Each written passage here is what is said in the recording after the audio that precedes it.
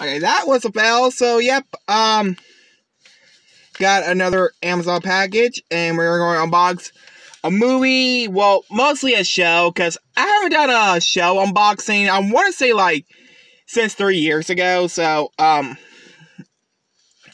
yep.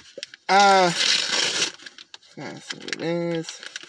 Oh, okay. Here we go. Uh, this came out just today, and that is RWBY Volume 9. Um, yep, back cover has a little damage, but I am not judging.